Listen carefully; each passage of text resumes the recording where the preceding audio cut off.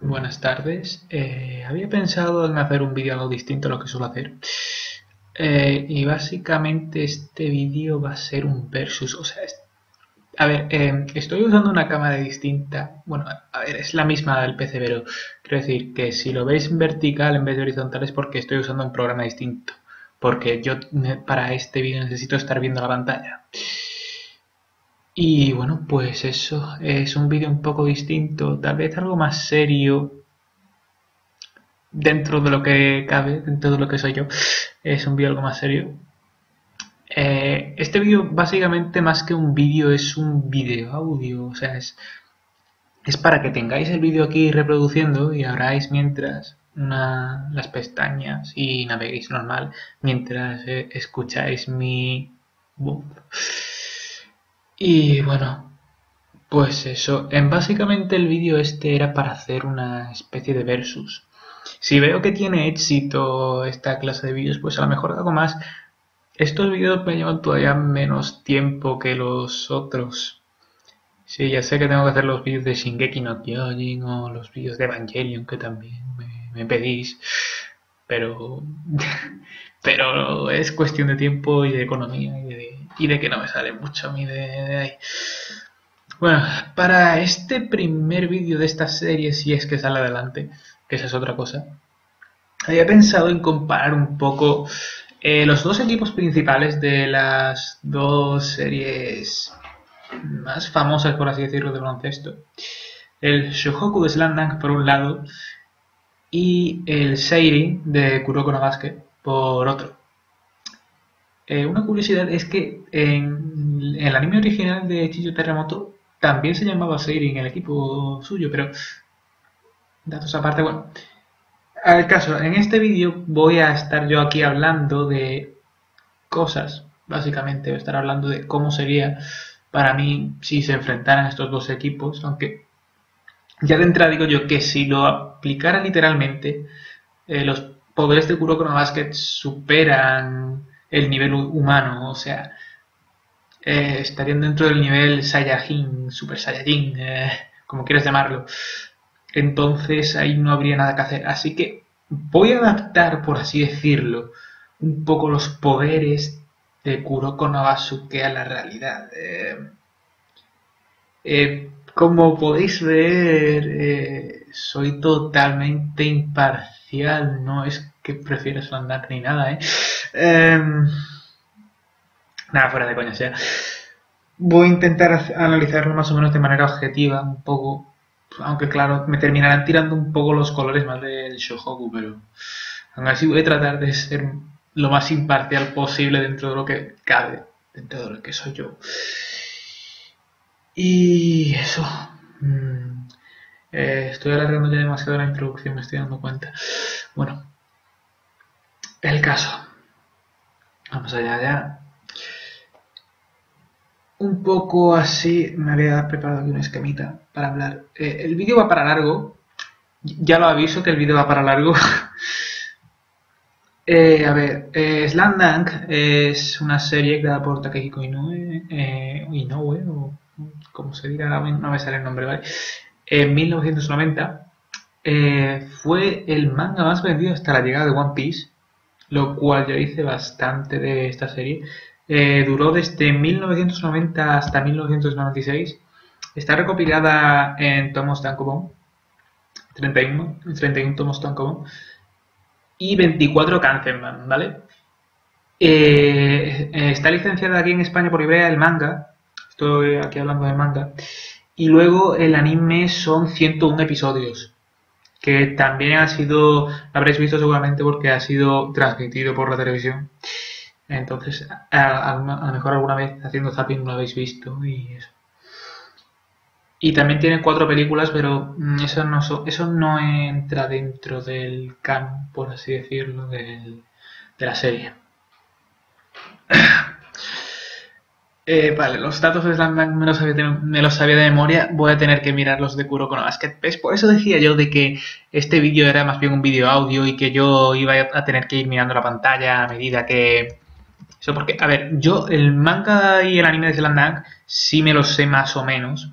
Bueno, a ver, me la he visto la serie, el anime me lo he visto tres veces y el manga dos.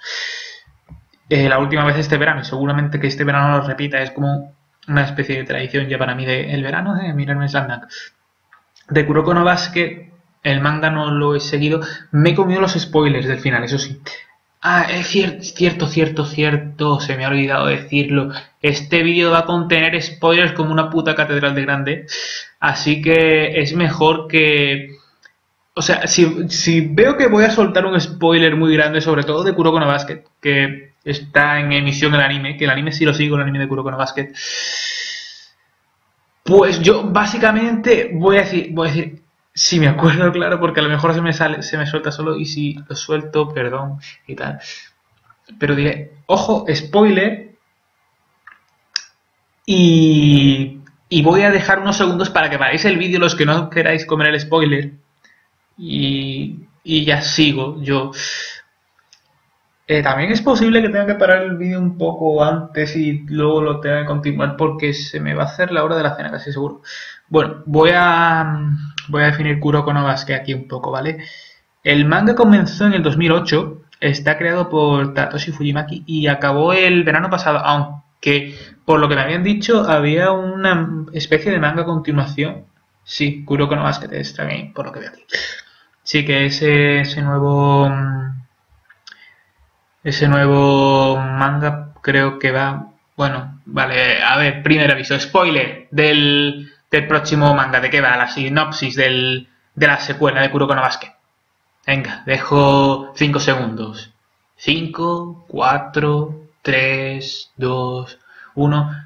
Básicamente ese encuentro va a ser eh, Generación de los Milagros más Kagami contra un grupo de nigas americanos ahí, todos pro y más o menos del nivel de la generación de los milagros. Eh, como ya dije un poco, eh, así introduciendo también el, vídeo, las series, aunque sean las de baloncesto, son bastante diferentes. Eh, Slam Dunk es más realista. Ojo, las flipadas que se meten en Slam Dunk tienen algo también que...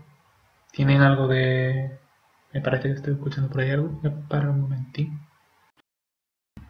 Ya, vale, sí, era mi padre. He tenido que parar un momento el vídeo.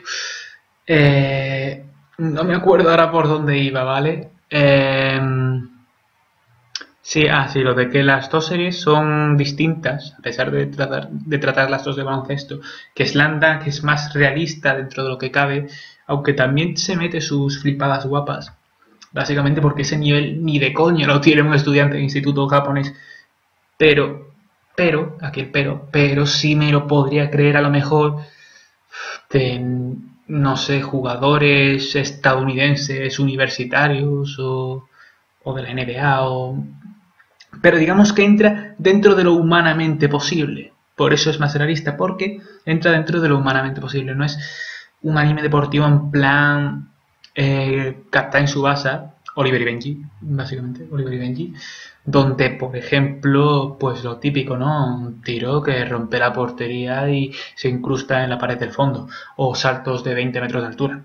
Esas cosas en Slam así de, de que yo vea humanamente imposible una especie de pantalla que hacía Sakuragi defensiva los primeros capítulos, luego ya se le fue quitando. Eh, se fue se le fue diluyendo eso. Y ya no sé ya no lo muestro tantas veces. Y bueno. Y y eso que mm, entra dentro de lo humanamente posible no es un anime así de flipadas en plan Oliver y Benji o Prince of Tennis también que es bastante de, meterse unas flipadas guapas. Eh, Kuroko no Basket no Kuroko no Basket sigue la sigue más la vía del, de Oliver y Benji y de Prince of Tennis, por decir algo, dado que es más, o sea, de hecho lo leí en un comentario de My Anime List, por así decirlo, de que Slandunk va más orientado hacia un público al que le gusta los mangas deportivos y Kuroko no Basket más, más hacia un shonen, ¿vale? Porque pues, Eh, si bien la primera temporada del anime de Kuroko no Basket eh, entraba dentro de lo posible más o menos, ya la segunda, eh, bueno, a ver, entre el, Super Saiyajin, que es la zona, el Shunkanido que se marcan ahí con el Vanishing Dive o, o el Mystiration Overflow, por ejemplo, que es un, eso es un Shunkanido de Dragon Ball como una carretera, ¿vale? Eh, o, pues más así, el pase Kamehameha, como olvidarlo, el Ignite by Sky. Le faltó decir Kamehameha y bueno. O sea, Kuroko no es más mm, fantasioso y Slam es más realista. Vale, creo que ya he terminado la introducción al vídeo y ya ahora me pondré a analizar propiamente los equipos. Ojo, no os esperéis aquí un nivel de, análisis eh, que yo no soy Daimiel ni nada, ¿vale? Que yo, o sea, yo he jugado al baloncesto, pero nivel el equipo de mi facultad y yo era y yo era jugador de banquillo, o sea,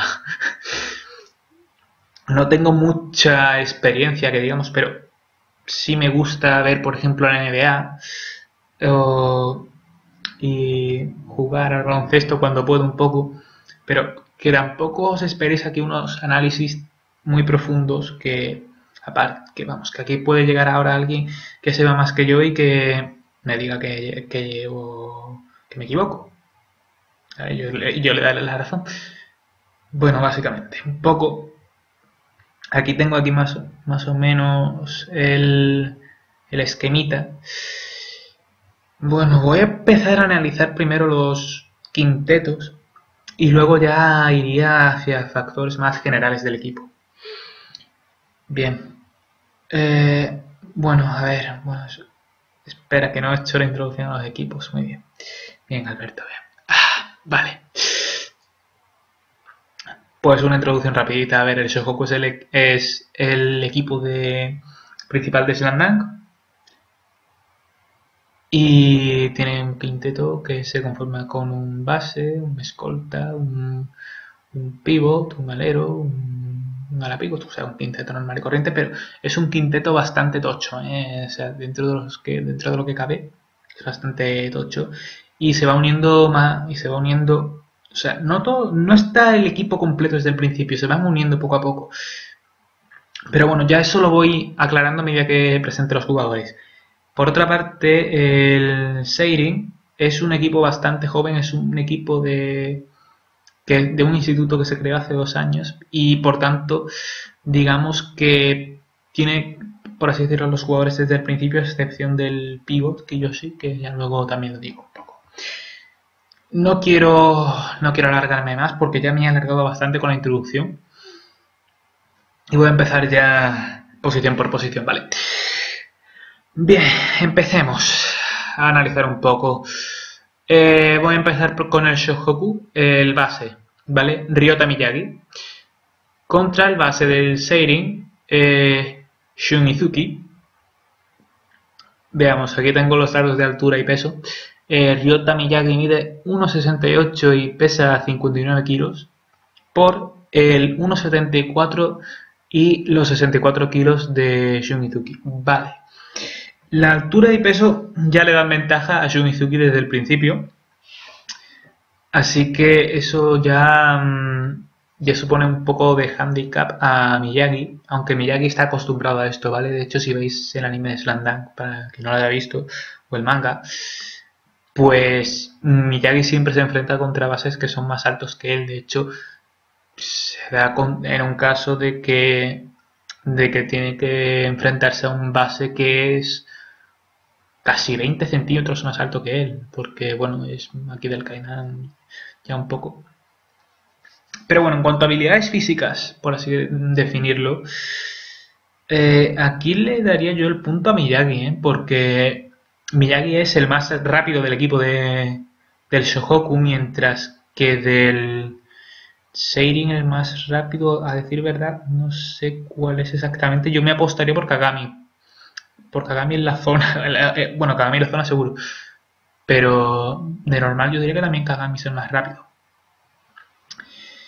Entonces, eh, Miyagi mm, está más bueno, desarrollado físicamente, no, en altura le gana a pero me refiero en cuanto a forma física, eh, velocidad y tal y cual.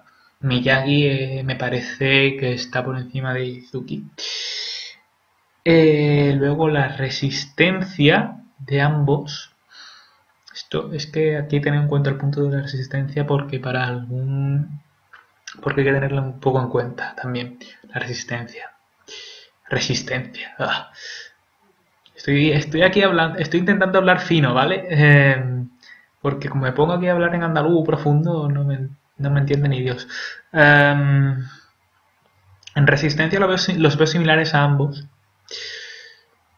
Mm, yo, la verdad, no recuerdo ahora mismo de Izuki que tuviera problemas de resistencia. Miyagi tampoco. Miyagi, Miyagi dentro de lo que, o sea, este de los tres del equipo que, que yo sepa nunca han cambiado por estar cansados. Eh, los otros son Akagi y Sakurai, que eso, que esos tampoco los han cambiado porque estén cansados, nunca. Así que yo diría que Miyagi la resistencia la tiene bien. Y Zuki, yo tampoco recuerdo que lo hayan cambiado nunca por cansancio, ¿eh? ahora que lo pienso. Eh, no recuerdo que lo... Bueno. En cuanto a técnica y tal, bueno, a ver, todavía no me metí los poderes especiales, ¿eh? Técnica aparte, eh, para mí Miyagi me parece más completo, ¿vale? O sea, eh, me parece que roba mejor los balones que, que Shun, Izuki, Izuki Shun. Es que me sale Shun por el de Sensei, ya no, os preocupéis. Em, también me parece que tiene visión de juego suficiente para plantarle cara a Izuki sin tener la habilidad esa del Eagle Eye no, espérate, ¿era Eagle o me... Sí, era Eagle, El, el del Hawk era el del... El del Shutoku. De Kuroko. ¿Vale? O sea, mm, lo que quiero decir es que también, por ejemplo, eh, tiene mucha más... Bueno, y aquí es lo siguiente a lo que, a lo que quiero llegar. Miyagi tiene más repertorio que, que Izuki, ¿vale? Izuki yo no le he visto muchas veces penetrar hasta la canasta y marcarse ahí una bandeja como hace Miyagi.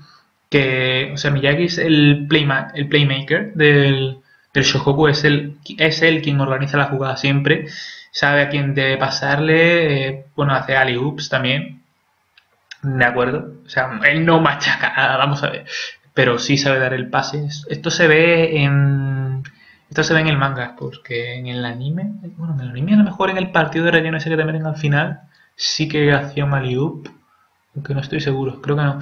Bueno, mm, pero bueno, eso, de que es, eh, me parece más completo Miyagi. Mm, habilidades aparte, ¿vale? Em, no le veo yo tan bien a Izuki ahí. Y ahora, por ejemplo, y ahora a ver, ahora sí voy a hablar un poco más de Izuki de las habilidades que tiene.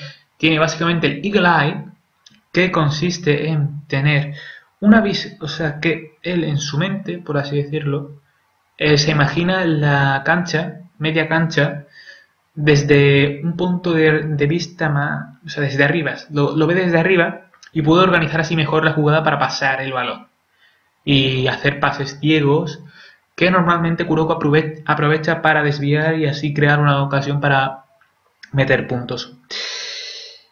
Vale, pero, o sea, no lo veo yo en plan base más, base anotador, o sea, no lo veo tan anotador como Miyagi, y Miyagi también sabe distribuir bien el juego sin tener eso. ¿Vale? Y luego, puntos flacos también tengo aquí marcados. Ah, bueno, espera, es cierto, Izuki también tiene el Eagle Spear, Eagle Spear, que es básicamente un robo hacia atrás, se aprovecha de su visión de Eagle Eye para saber dónde, está el balón y con un toque hacia detrás se permite se permite hacer robar el balón, o sea, bueno, más que robar el balón, tocar el balón para que el otro lo pierda y ya se aproveche el otro.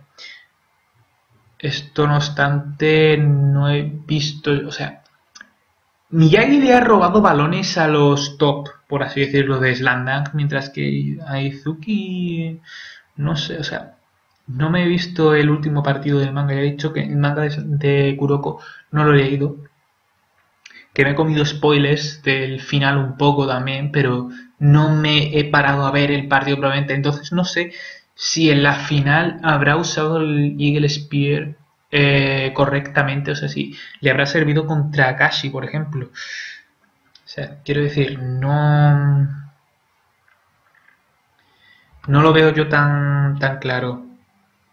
Ahora, puntos flacos de, los, de ambos.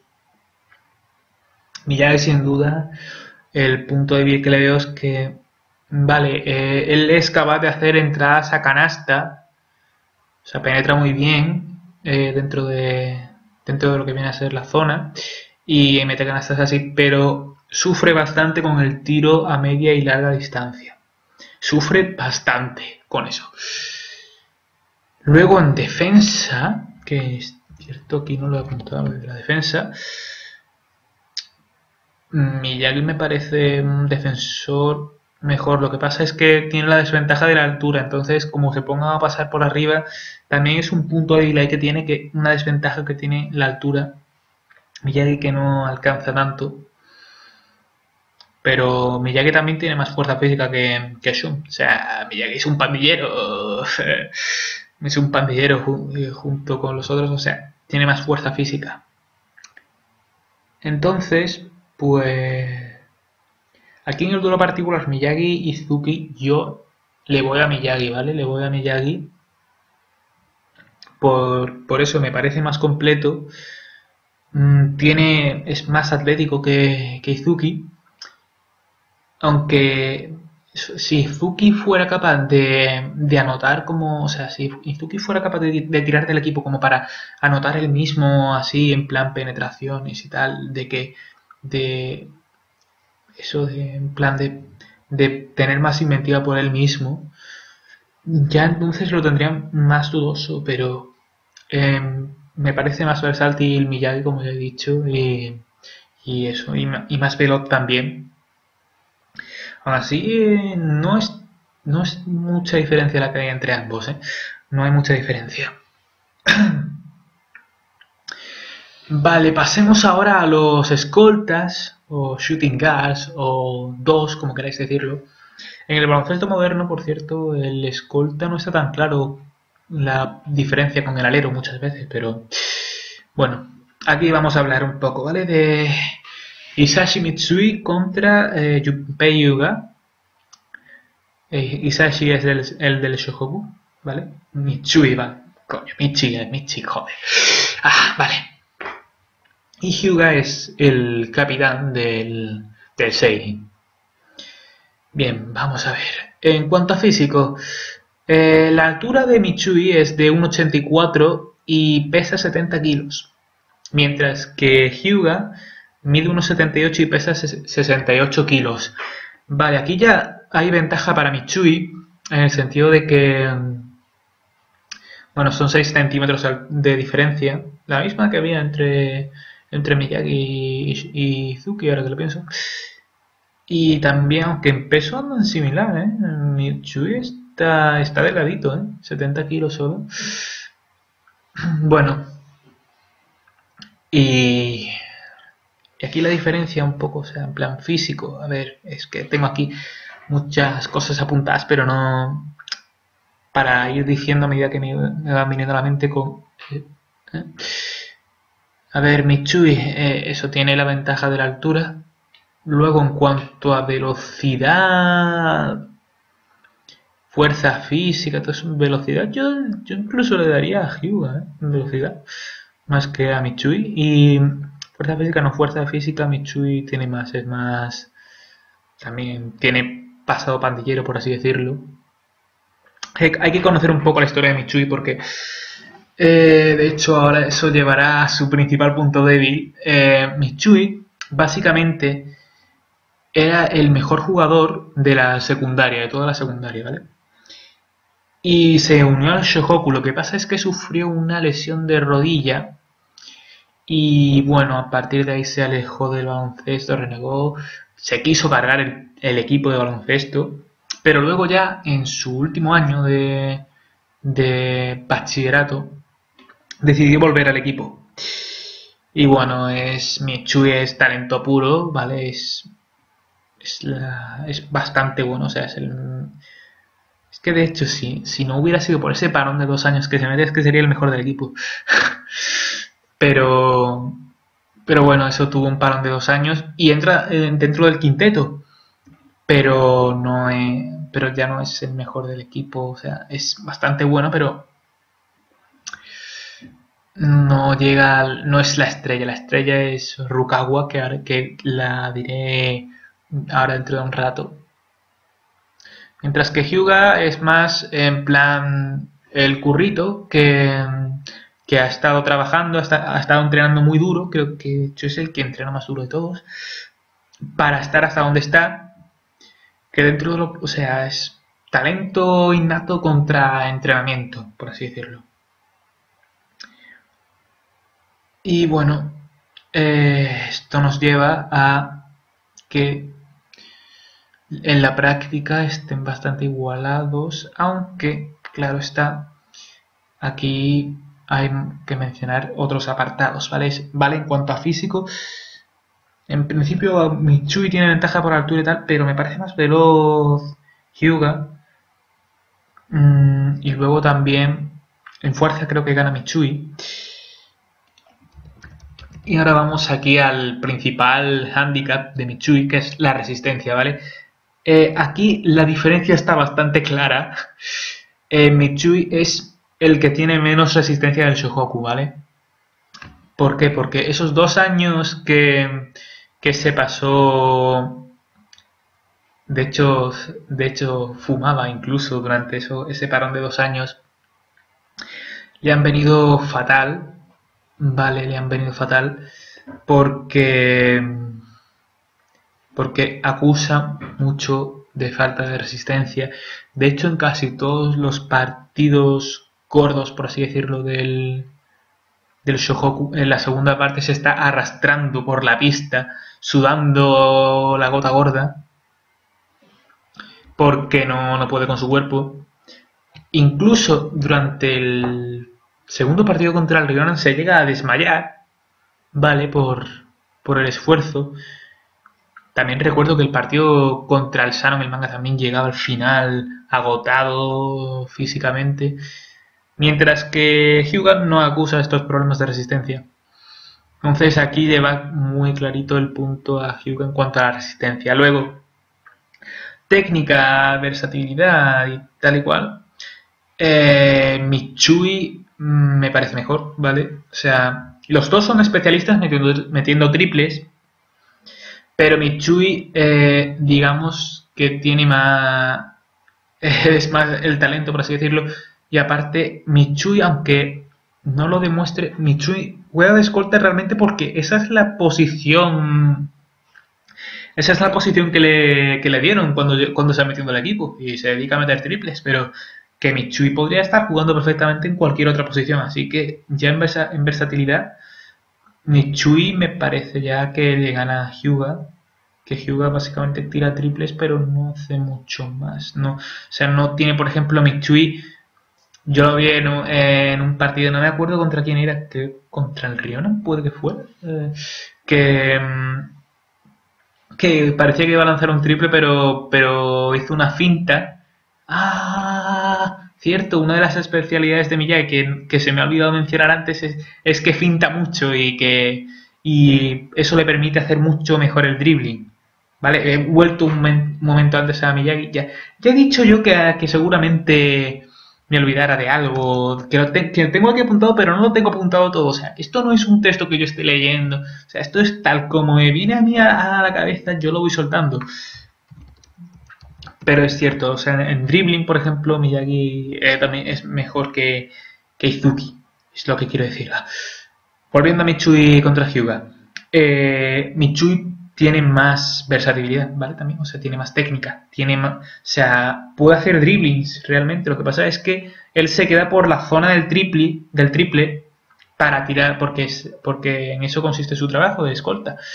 Pero que puede penetrar hasta la canasta si él quisiera. De hecho, un par de veces lo hace eso, de en plan de, eh, ¿crees que solamente se van a dar triples? Pues eh, toma, ahora te vas a comer un carajo. También eh, demuestra ser un, un, clutch, un clutch player, como se diría en la NBA, o sea, un tirador de que en el momento decisivo te la, te la puede clavar. De hecho, ganó, ganaron, por, ganaron el, el campeonato de secundaria su equipo en el que estaba. Era, no me acuerdo ahora cuál era la, la secundaria a la que iba Michui. Con un buzzer beater de un triple tras un robo que se marcó, ¿eh? muy bonito, eh, muy épico. Ah, por eso se une al Shohoku porque le dio esperanzas el entrenador y tal y cual. Y eso, básicamente, Michui me parece mejor que Hyuga en ese aspecto. Anota mucho, anota. O sea, en triples realmente anotan más o menos lo mismo, pero yo creo que, que si están marcados y tal, Michui, Michui es capaz de crearse tiros. Hyuga también, una vez que, que, descubre lo del el backstep, también empieza a notar más, aunque le pillan el truco, pero Michui se crea más tiros, por así decirlo. O si tiene que fintar, dar un paso atrás y tal, lo, lo sabe hacer mejor. Y, y por tanto, o sea, también aquí hay...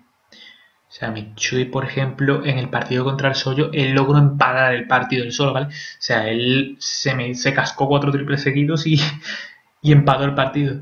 Eh, y todo eso. Hyuga, mmm, no tanto. Luego, a ver, en, aunque, aunque Hyuga mm, copia una técnica, por así decirlo. Esto es un spoiler, ¿vale? Voy a, dejar un spoiler de la final del manga de Kuroko, ¿vale?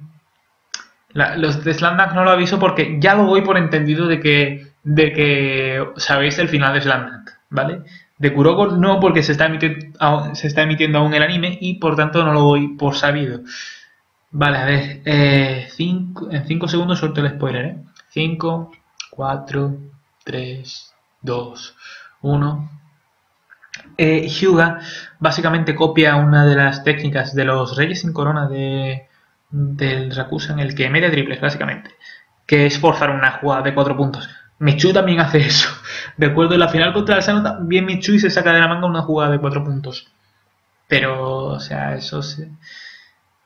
Pero bueno, eh, o sea que ambos pueden forzar una jugada de 4 puntos. Luego defensa. Aquí en defensa Michui. Después de Akagi yo diría que es el mejor defensor del Shohoku. Así que de hecho, de hecho Michui eh, seca a Fukuda, a Fukuda del, del Riona, que se estaba merendando a Sakuragi. Lo, lo seca, lo deja sequito, no, no deja que anote nada. Eh, mientras que Hyuga en defensa no le recuerdo yo especialmente por acciones defensivas espectaculares. Así que bueno, en definitiva, ya dije, de base me parece mejor Miyagi en general que Izuki. Aquí en Escolta también tengo que decir que el del Shohoku, Mitsui, me parece mejor que Hyuga. Vale, sí, Hyuga es el capitán del... Es el capitán del Seiri. Mete muchos triples, pero... Mmm, Mitsui me parece mejor. Aunque, de hecho, Hyuga a mí a veces me da la sensación de que... De que el verdadero capitán es Kiyoshi, aunque... Porque Hyuga, o sea, es capitán porque Kiyoshi le dijo, sé tú el capitán. Pero, no sé, me parece un poco un capitán. No es, o sea, no es como el capitán del Shohoku, que es Akagi, que impone mucho más, ¿vale? Y ahora voy a parar momentáneamente el vídeo porque creo que me van a llamar para cenar enseguida. Y cuando vuelva me pondré a hablar sobre los pivots, que son Akagi y Kiyoshi, ¿vale? Doy aquí la introducción más o menos de altura y peso. Eh, Takenori Akagi 1,97, 90 kilos de peso. Tepei Kiyoshi 1,93 metros, o sea, 1,93 metros de altura, 81 kilos. Yo voy a parar aquí un momento y ahora, bueno, a vosotros realmente os, os parecerán unos segundos, a mí me, me parecerán unos minutos. ¿Vale? Hasta. Bueno, eh, a ver cómo lo explico un poco. Voy a hacer aquí un pequeño inciso, ¿vale? Es que eh, llegó mi hermano, así decirlo, y he tardado todavía más en retomar la grabación del vídeo. A vosotros os han sido unos segundos, pero ahora mismo yo, mientras estoy grabando esto, son las 12 y 24. Eh, por lo tanto, me voy a tener que dar prisa porque llevo más de media hora de vídeo y aún no he llegado ni a la mitad de lo que quiero contar. Así que voy a ver si para las 2 de la mañana he terminado o así. Un par de apuntes más sobre lo de Michui y Hyuga. Es que Michui eh, aunque esté reventado a más no poder, tiene esos destellitos de vez en cuando que, lo hacen decisivo y por tanto me parece a Vale, vuelvo al tema Akagi contra Kiyoshi. Akagi mide 97 por el 93 de Kiyoshi y pesa 90 kilos, 90 kilos por los 81 que, que pesa Kiyoshi. Por tanto, ahí Akagi tiene más altura y corpulencia y por tanto tiene ventaja. Además, en el físico, tiene eh, la ventaja también Akagi, bueno, Akagi también se lesiona en Slam se lesiona un tobillo, pero solamente le afecta para unos partidos. No es como la lesión de Kiyoshi, que se lesionó una rodilla y eso le afecta bastante a su juego porque no puede desarrollar todo su potencial y de hecho eh, dice que tras la Copa de Invierno se tendrá que retirar porque sí tiene que operar y deja ya el baloncesto, por así decirlo. Por tanto, en el físico Akagi también sería superior. En velocidad tengo aquí, velocidad Kiyoshi, sí, porque Akagi es más, es más lentorro. Lo veo yo en fuerza. Akagi, Akagi gana a Kiyoshi, ¿vale? Porque eso tiene más corpulencia, es una mala bestia. Eh, Akagi, o sea, los, los, tapones que mete Akagi, eso Kiyoshi no, no, no lo hace. Eh, resistencia.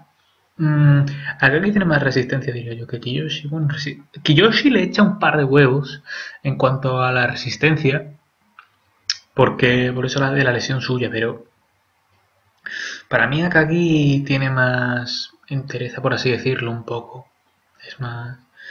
En cuanto a técnica... Mm, en técnica los veo similares. ¿eh?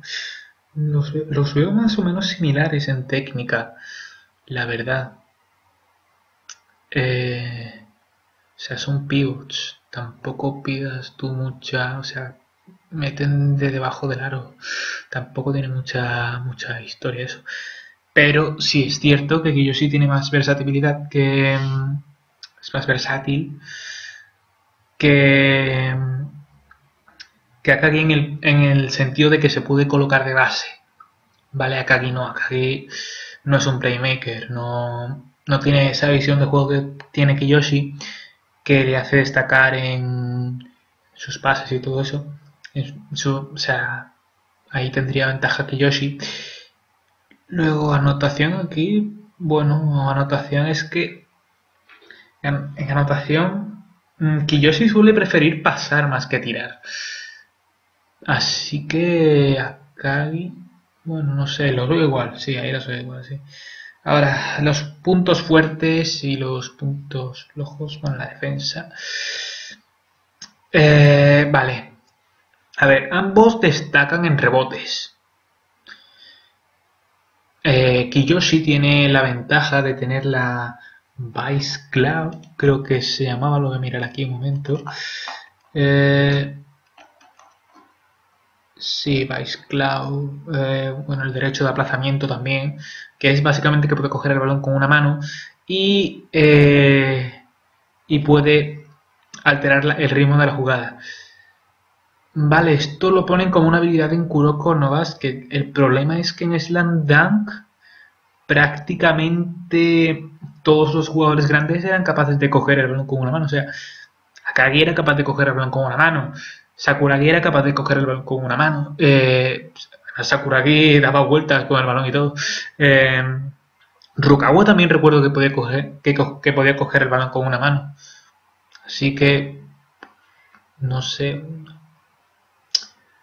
Hombre, puedo, puede ser que lo coja de alguna, pero que tampoco me parece una habilidad especial. O sea, todo el mundo en, en Slandang, todos los grandes, por así decirlo, todos los, toda la gente de, digamos, más de un 85 era capaz de coger el balón con una mano más, más o menos.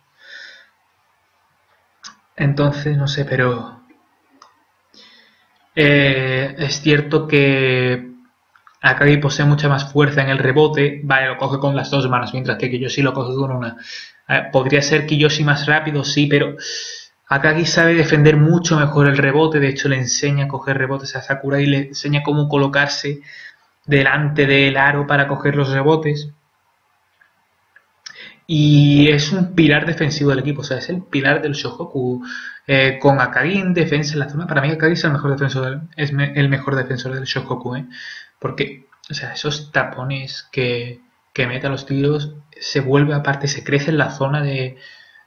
Se crece mucho en la zona, no deja que le anoten fácilmente. Y... Vale, siempre ocupa posiciones cercanas a la canasta, a la canasta pero le tengo que dar el punto a Akagi, ¿vale? Es que la defensa de Akagi, Kiyoshi no la puede desarrollar mm, básicamente porque no es tan corpulento. Mm, o sea, no solo ya que no sea corpulento, sino también que la propia lesión le limita un poco. Entonces le tengo que dar el punto a Akagi. Ya sé que estoy sonando más acelerado, ¿vale? Y es posible que se me escape algún detalle que iba a contar en un principio, pero me quiero dar más prisa ahora por eso de que se me está haciendo tarde un poco contando todo esto. Vale, el siguiente uno a un, el siguiente uno contra uno que tengo pensado, ahora aquí, o sea, estaba siguiendo por las posiciones, ¿no? O sea, he empezado con eh, Miyagi, Miyagi Suki, que son los bases, Mitsui Yoga, que son los escoltas, Akagi Kiyoshi, que son los pivots. Aquí no, aquí voy a centrarme en los ases de ambos equipos, ¿vale? Rukawa y Kagami, que juegan en posiciones distintas, ¿vale? Eh, Rukawa juega de alero, mide 1,87, pesa 75 kilos. Mm, mientras que Taiga Kagami eh, mide 1,90 y pesa 82 kilos y juega de ala pivot. Bien. Eh, a ver, voy a... Es que voy a rápido ya. En cuanto a físico, o sea, la velocidad, la fuerza y todo eso, eh, Kagami. Kagami eh, claramente, o sea, el, es que Kagami realmente el físico que tiene es similar a, similar de Sakura y es que de hecho eh, se dice algunas veces que Kagami es una copia de Sakuragi solo que con técnica. Pero bueno, eso en físico, Kagami supera bastante a Rukawa. O sea, no, Rukawa, por muy rápido que sea, no creo que puede volar a Kagami en fuerza ni en velocidad. Bueno, en velocidad a lo mejor sí, pero mm, no lo veo yo. Eh, luego la, la resistencia.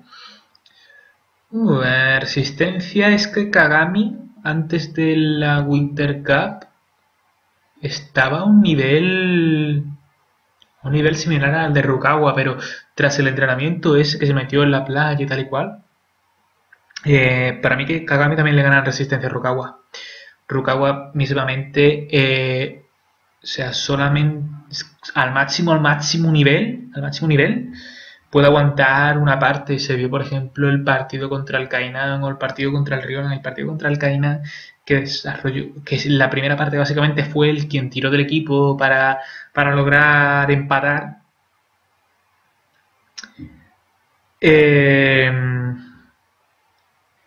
y luego la segunda parte estaba reventado, de hecho lo, lo tuvieron que cambiar y todo porque, porque no podía con su cuerpo ya.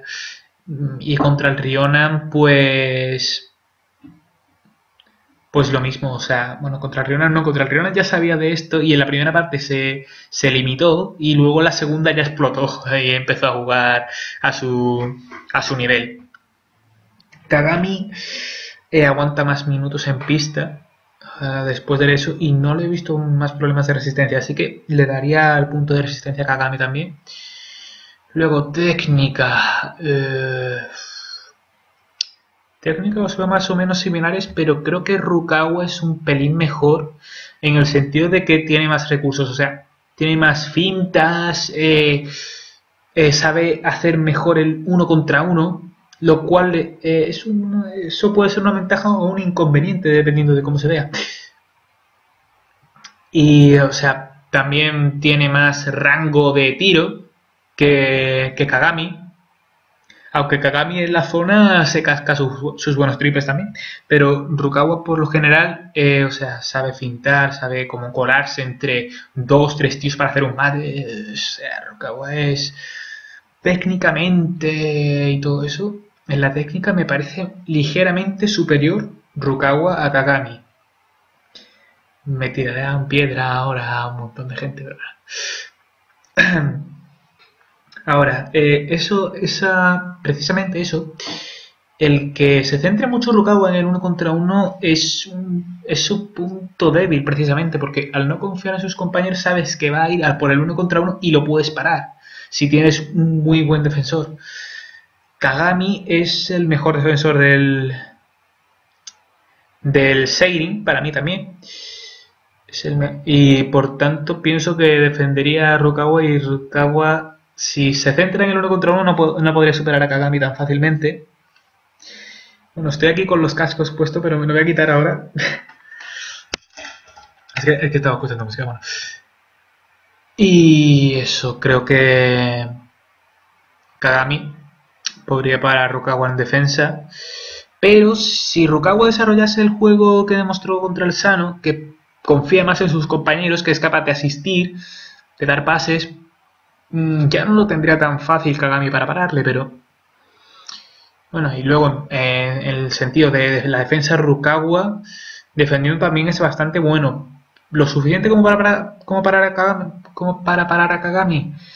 Eh, aparte que juegan en posiciones distintas, ya lo he dicho. O sea, Kagami es un... Kagami es más, tiene más potencia física que Rukawa. Por tanto, mm, y bueno, ahora me iba a meter, ahora me voy a meter yo en el tema de las habilidades de Kagami. ¿Vale? Que ahora aquí esto va. esto va para largo. Especialmente cuando toque el tema de la zona. Va a ser va a ser bastante curioso. Ahora un poco. Y seguramente cuando toque el tema de la zona, alguno me saltará diciendo que eh, no sé qué, no sé cuánto.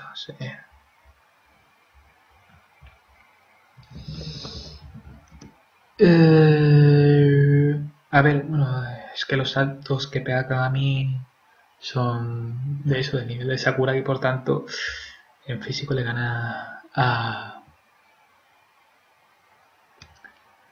Rukawa. Bueno, y ahora ya me centro en lo que viene a ser eh, la zona, ¿vale? Kagami tiene lo que eh, yo llamo el Super Saiyan, en el sentido, o sea, es que como lo pintan en Kuroko no Basket, lo pintan como rayitos de colores saliendo de los ojos, más velocidad, ahí en plan eh, driblando, que no se ven sus movimientos siquiera. Eh, o sea, la zona, tal y como la ponen en Kuroko no Basket, es, sobrehumano, ¿vale? entonces, no podría parar los Rukawa ni de coña. Eh.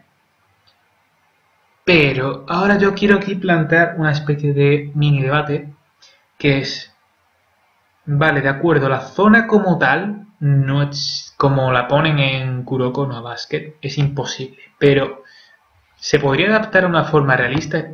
Eh, con esto quiero decir, hay momentos que de Slam en los que se podría decir que un jugador está en la zona, si bien de forma realista, no de forma... Y en mi opinión, sí los hay, ¿vale? Hay momentos en los que tú dices, coño, este está on fire, ¿vale? On fire.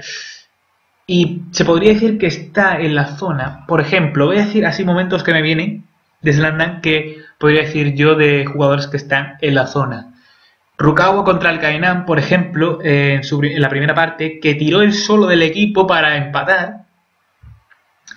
Eh, Sawakita, en el partido contra el Shohoku, cuando el Shokoku se estaba acercando en el marcador, eh, él, mm, él solito cogió y puso otra vez la, la, la distancia. No llegó a. Creo que, se quedó en 19 puntos la, la diferencia. O sea, eh, ¿Cuál más? O sea, Michui contra el Soyo que, que metió cuatro triples seguidos ahí, en plan, también.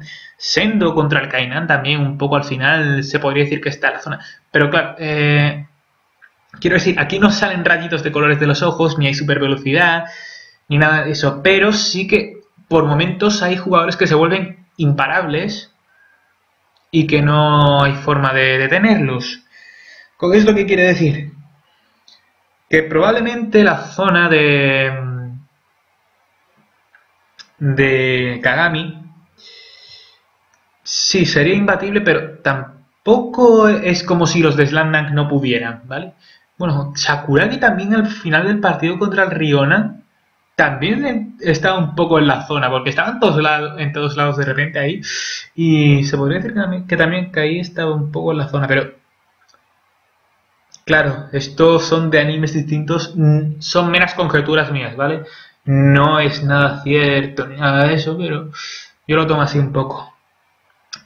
Y ahora eh, voy a hacer un spoiler del manga de Kuroko no Basket. Otra vez, otra vez voy a dar 5 segundos o así para, para que os saltéis esta parte si queréis. 5, 4, 3, 2, 1. Vale, pues eh, lo que iba a decir yo ahora es que en Kuroko no Basket eh, durante la final, Kagami desarrolla lo que vendría a ser una zona dentro de la zona, también conocido por mi parte como el Super, Saiyan, el Super Saiyan 2.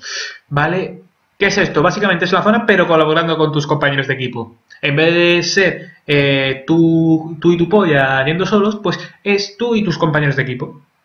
¿Vale? Se podría decir que es la zona, en plan, es Super Saiyan 2.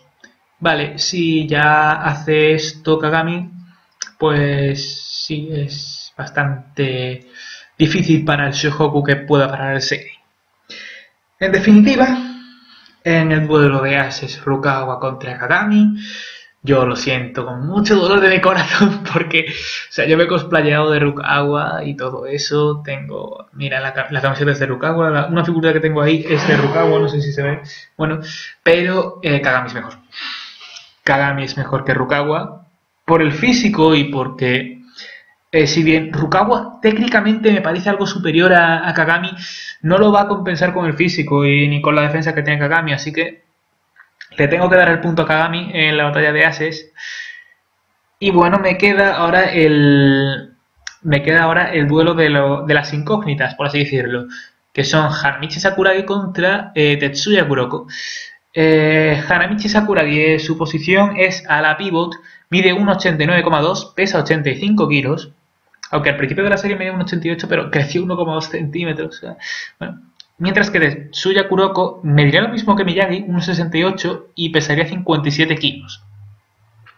Sakuragi juega de ala pivot y Kuroko no tiene una posición definida, pero por el esquema del Seirin y y por su propio estilo de juego, se podría decir que lo más que su posición, aunque realmente no tiene una posición fija, su posición a la que es más similar su forma de jugar es la de alero.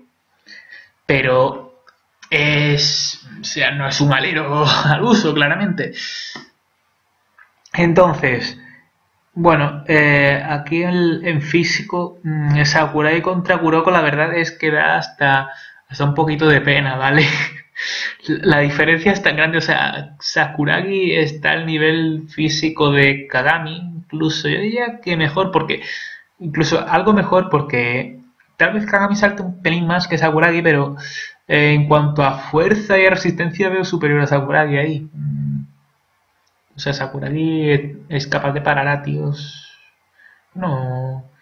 Kagami también al, al tío ese de al africano, el Papa, lo, para también, pero Sakuragi, o sea, le gana rebote a esa gente mucho más alta. Ahora hablo un poco del tema. En cuanto a físico, o sea, velocidad, fuerza, mm, le gana Sakuragi de paliza a Kuroko bastante, además. Eh, resistencia. Eh, Sakuragi también, o sea, Sakuragi es el más resistente del Shohoku. Sakuragi se mete carreras de un lado a lado de la pista 40 minutos y y sigue ahí perfectamente. Me he salido del lado andaluz porque he dicho de lado a lado. De lado a lado, vale. Eh, Kuroko no, Kuroko. De hecho, Kuroko no puede aguantar mucho tiempo en la pista porque si aguanta más se jode su, su especialidad. Entonces Kuroko podría estar unos dos cuartos o así. O sea, sería el, en resistencia, sería el que tiene menos. Sí, sería el que tiene menos de todos los, los del quinto todos los quintetos aquí, de los dos quintetos. Técnica. Uh. Vamos a ver, Sakuragi es un principiante que comenzó a jugar al baloncesto en primero de, en primero de bachillerato, por así decirlo, de Japón.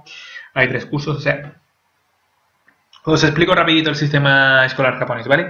Hay como dos, la secundaria está dividida en dos, en dos partes, ¿vale? Primero, segundo, tercero de secundario propiamente dicho, y luego ya primero, segundo y tercero de lo que vendría a ser el bachillerato.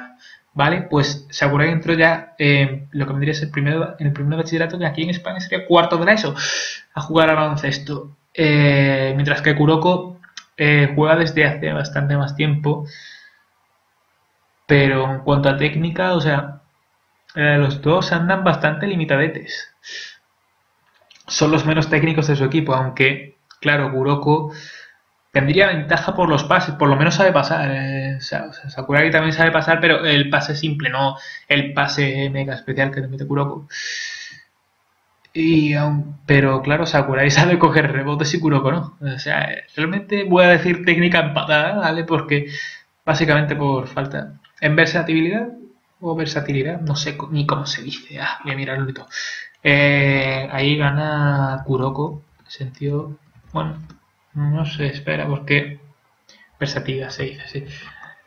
Porque Sakurai podría jugar en tanto en posición de la pivot como de pivot.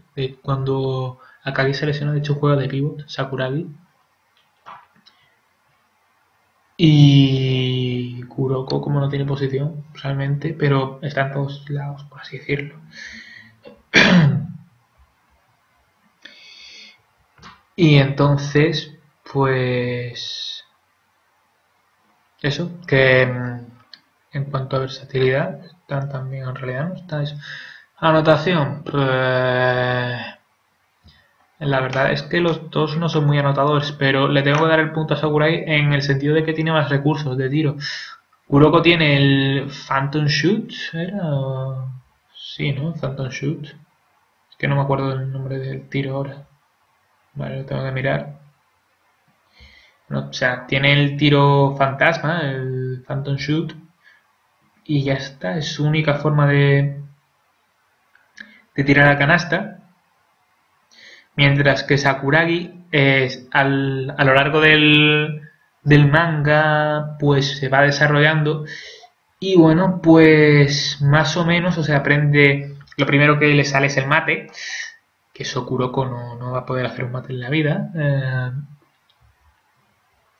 Luego también tiene el tiro desde debajo de la canasta, la entrada canasta. Tiene, bueno, su forma de tirar los tiros libres a los Rick Parry, o sea, desde en forma de en cuchara, tirarlo de cuchara. Y puede encestar, o sea, al final del manga creo que Sakurai podía encestar más o menos desde la bombilla, podía meter más o menos con cierto porcentaje de éxito. Así que le daría yo en anotación a Sakuragi más que a Kuroko, porque además a Kuroko como le paren el Phantom Shoots ya no, ya no tiene forma de meter puntos. Luego, en defensa, bueno, en defensa, ¿verdad? Aquí, aquí es que además Sakuragi tendría un handicap, ahora que lo pienso. En dribbling, dribbling Kuroko con el Vanishing Drive no debería tener problemas para pasar a Sakuragi. Sakuragi es un principiante en defensa, pero eh, dependiendo un poco del rival con el que se encuentre, puede hacerlo mejor o peor. De hecho, va mejorando bastante la defensa desde que empieza hasta que acaba, porque al principio de, la, serie se lo expulsaban siempre por acumulación de faltas, mientras, mientras que ya al final ya apenas cometía faltas, era capaz de hacer bastantes tapones, bueno, su especialidad eran los rebotes, que de hecho gana muchos, de hecho el partido contra el Sano es gracias a Sakuragi que lo ganan, porque por sus rebotes ofensivos. Y entonces me he quedado en blanco. Ahora, eso, eh, que en dribbling Kuroko la, que la defensa de Sakuragi se va mejorando con el paso del tiempo, pero Kuroko en defensa, Kuroko en defensa es fácilmente pasable, o sea, Kuroko no tiene el físico para parar a alguien como Sakuragi, pero podría forzarle faltas en ataque porque además Sakuragi es un principiante, entonces defensa le daría a Sakuragi, vale, le voy a dar a Sakuragi básicamente porque por el físico, a dar la defensa Sakuragi porque por lo que viene a ser técnica defensiva no tiene no tiene mucha, pero pero eso va mejorando y de hecho cuanto más mejore. Pero aquí quería decir yo un handicap que tiene Sakuragi, que de hecho se lo descubre en, el partido contra el Kainan. Básicamente, Sakuragi juega, mejor, dependiendo de lo fuerte que sea el rival con el que se enfrenta. Si el rival con el que se enfrenta es fuerte, él se va a esforzar todavía más y va a jugar todavía mejor. ¿Qué pasa? Que si el rival en su opinión no es fuerte, no se va a esforzar y va a jugar como el culo. Probablemente cuando Sakuragi viera que tiene que marcar a Kuroko, eh, le pasara esto. Es posible que le pasara esto, ¿vale? A no ser que ya empezara a ver, empezase a ver que Kuroko le está metiendo una paliza y tal y cual, y se enderece un poco y comienza a defender bien. Pero claro, para entonces un poco a lo mejor edad no tiene suficiente. Y ahora pues comienzo con voy a decir las habilidades, que tienen cada uno, ¿vale? O sea, Sakuragi en realidad es un poco es un poco Kise de Kuroko porque o sea, más o menos puede asimilar algunas técnicas, obviamente no todas, Vamos a ver, no le vamos a pedir ahora que meta un triple, pero sí que, por ejemplo, el tapón de, de Akagi es capaz de, hacerlo, o, el rebote de Akagi, o sea, sobre todo de Akagi son los que, las técnicas más o menos que copia. El mate eh, lo, va asimilando con el paso del tiempo. Eh, su especialidad, Sakuragi, son los rebotes, ¿vale? Sakuragi es el mejor reboteador de aquí de los cinco junto con Akagi, o sea, eh, los rebotes van a tener ventaja en Shohoku, eso, eso está bastante, bastante claro. Momento, estoy aquí apuntando unas cosas que me acuerdo ahora de que puedo mencionar.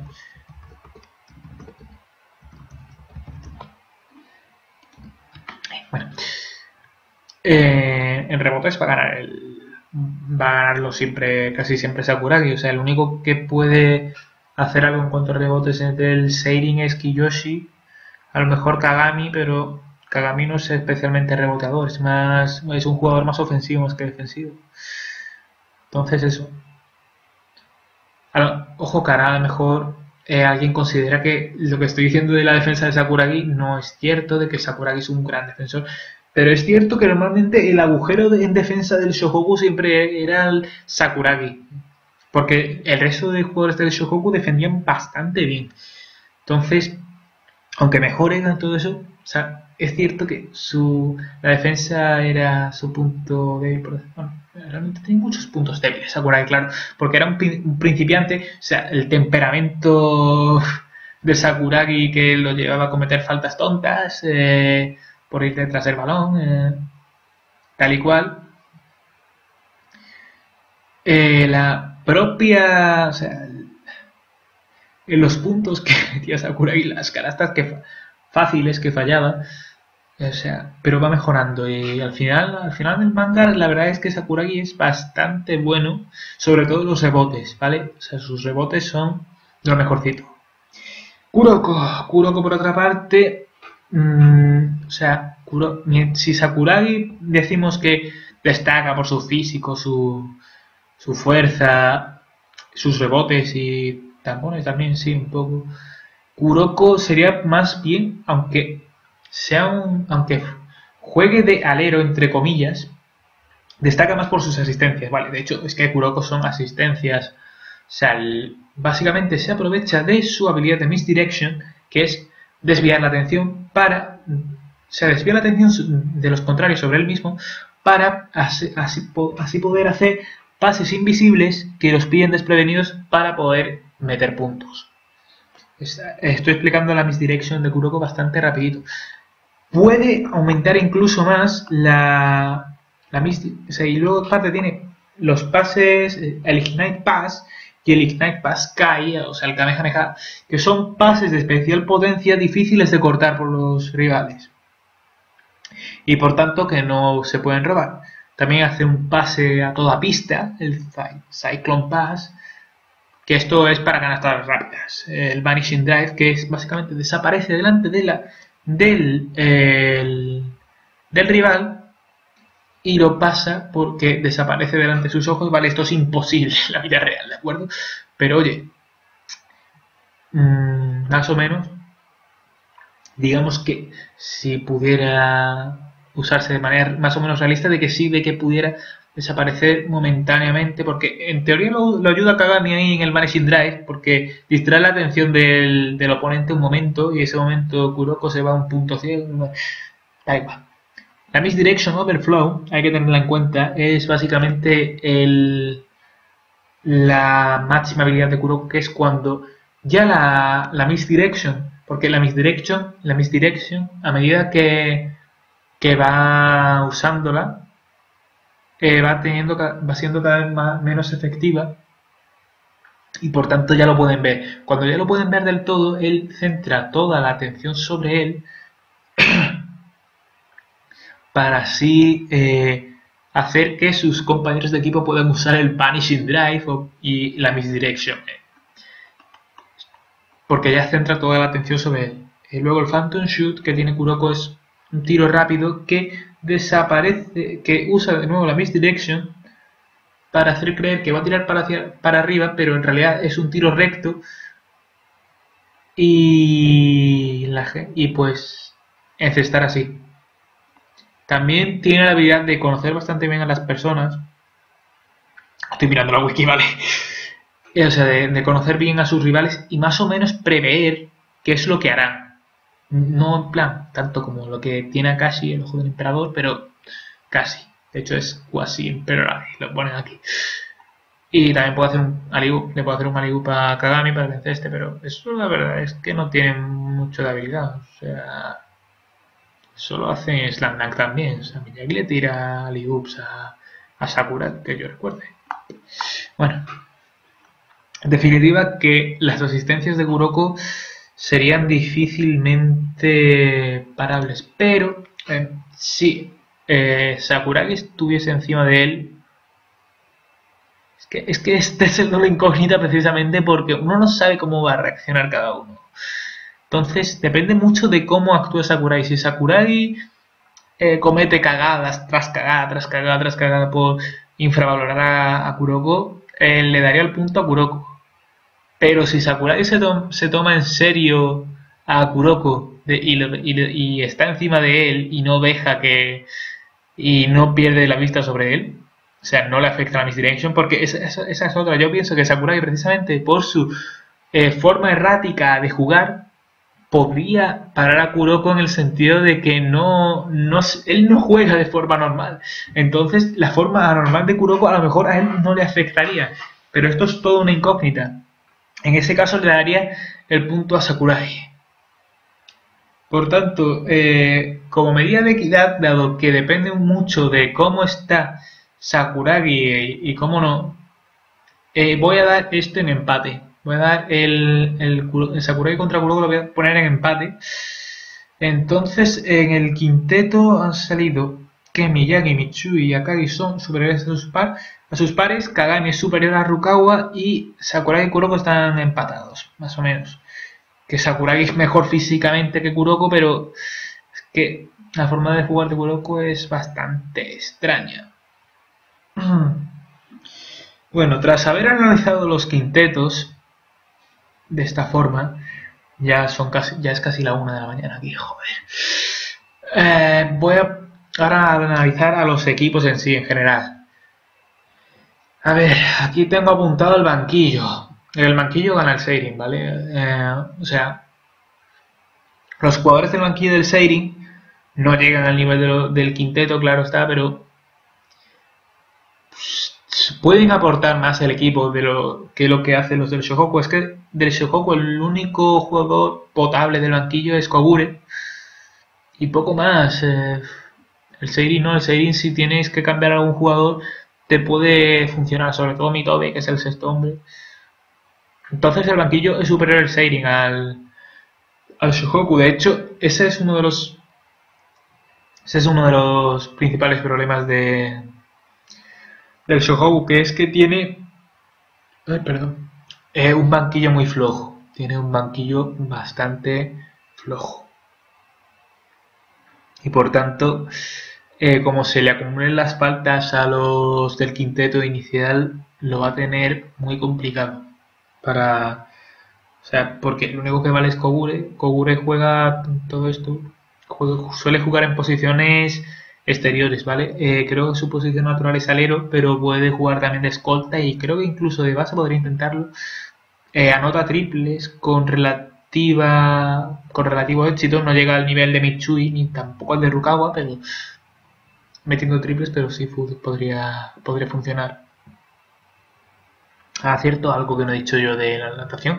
Eh, Akagi Kiyoshi, que Yoshi creo que puede anotar desde algo más lejos que... De hecho, Kiyoshi metió un triple, es cierto.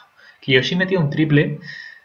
Eh, por tanto, ahí en anotación, Kiyoshi le ganaría a Kagi porque a Kagi tú lo sacas de la zona y no te mete tantos puntos. O lo tiene más difícil, no es muy tirador que digamos. Pero aún así, para mí Kagi sigue ganando ahí. Sí, yo, yo, no os preocupéis, que yo, que yo sé mucho de esto de me acuerdo de una cosa y lo digo ahora. Eh, entonces, bueno, en cuanto a los entrenadores, ¿vale? Eh, Mitsuyoshi Ansai, ¿vale? Yo es que le digo el entrenador Ansai, ¿vale? De hecho no me sabía ni su nombre de pila. Yo decía Ansai ya está. Contra eh, Rico Aida del Seirin, ¿vale? Eh, para mí, bueno, a ver. Eh, aquí son dos entrenamientos, o sea, los entrenamientos que siguen ambos equipos. Los del Seirin me parecen más, por así decirlo, especiales, o sea, en el sentido de que se los lleva de playa, de rappel, ¿era o rappel? ¿Cómo era? ¿Cómo, se dice? Fartlek, vale, fartlek, o sea, de, en la piscina, o sea, son estilos de entrenamiento bastante extraños, un poco, pero funcionan más o menos.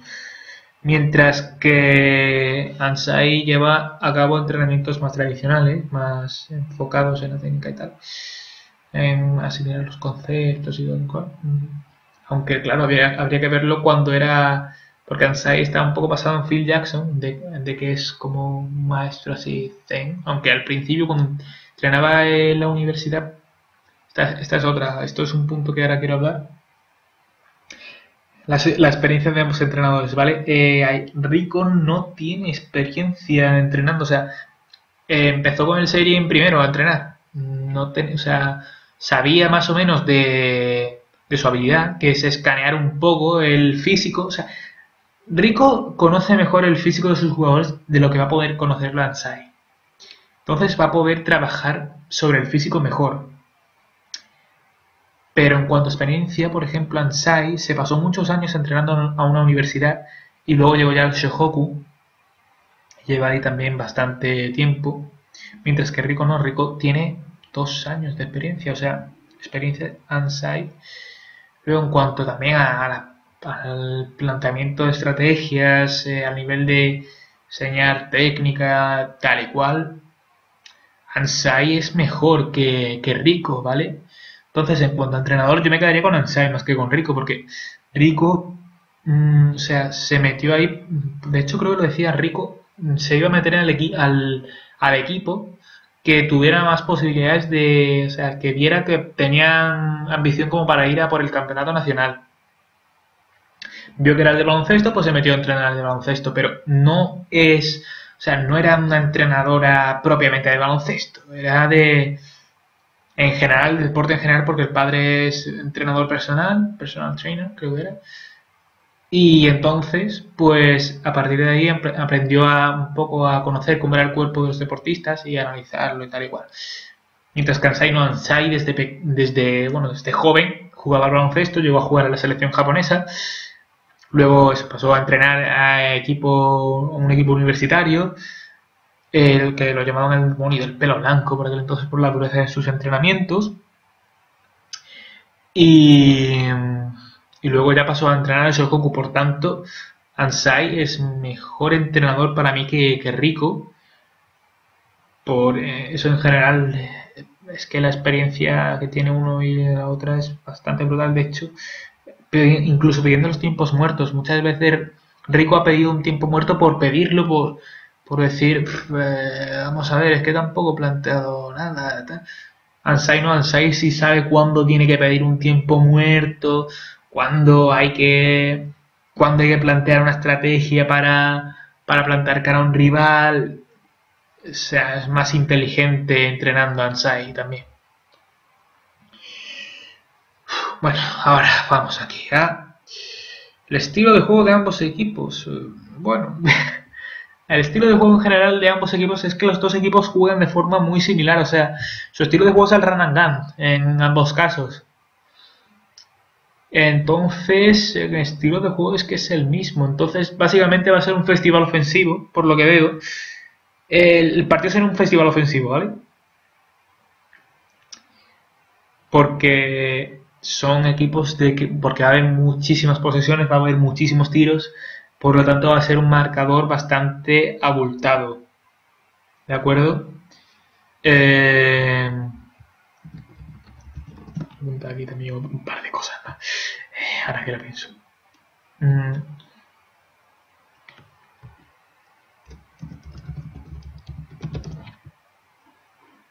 Va a, ver, va a ser...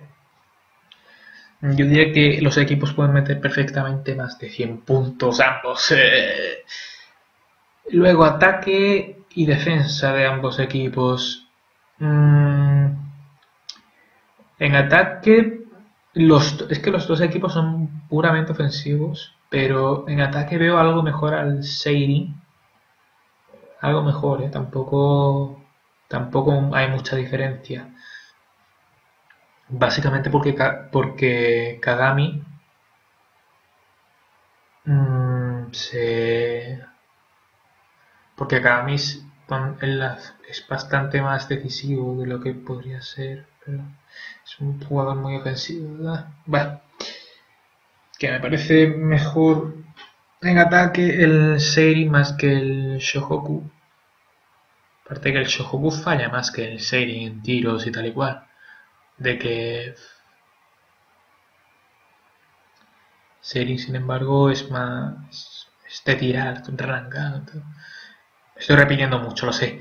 Pero en defensa la cosa cambia, ¿vale? En defensa me parece bastante mejor el Shofu que el Seirin. O sea, en defensa la, seguridad que te proporciona Kagi en la zona no te la puede proporcionar, por ejemplo, Kiyoshi, ¿vale? Lo siento por, por Kiyoshi, pero mm, aunque mido 93 no tienes, no impone tanto, no impone tanto como, como Akagi y no tiene ese, ese, repertorio defensivo que podría tener el Shohoku con los tapones o, con los con los rebotes, ¿vale?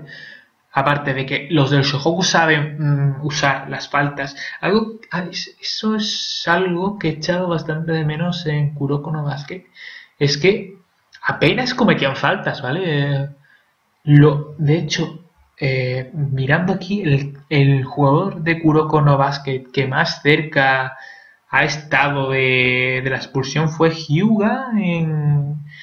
Fue Hyuga que en un partido, no voy a decir cuál, eh, llegó a las cuatro faltas.